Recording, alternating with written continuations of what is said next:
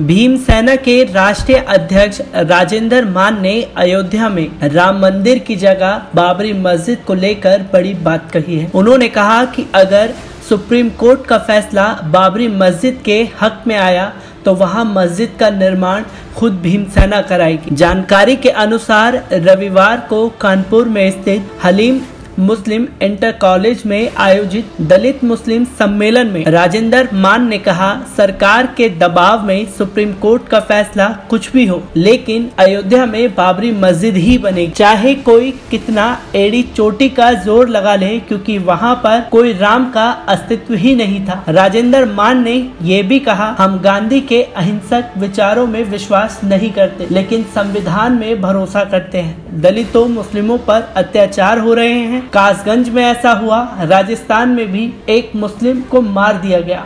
हम पर अत्याचार कब बंद होंगे? राजेंद्र मान ने कहा, अत्याचार करने वालों को भीम सेना यमलोक पहुंचाती है। किसी ने मूल निवासी की बहन बेटियों के को हाथ लगाया तो हाथ काट देंगे। 2 अप्रैल को जो कुछ हुआ, वह एक ट्रेलर था। कानपुर में मुस्लिम और दलित एकता अधिवेशन का आयोजन किया गया, जिसमें कई मुस्लिम संगठनों और सामाजिक संस्थाओं ने भी हिस्सा लिया। अधिवेशन में राजेंद्र मान ने भी हिस्सा लेने पहुँचे थे। इस मौके पर मीडिया से बात करते हुए उन्होंने कहा, पहले बाबरी मस्जिद, वहाँ थी सुन्नी वक्फ बोर्ड और अन्य मुस्लिम संगठनों ने अपने दस्तावेज़ कोर्ट में पेश कर दिए थे।